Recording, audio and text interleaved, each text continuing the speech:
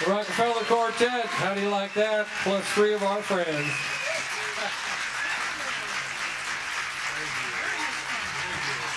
Thank you folks for coming by. It's been a great night.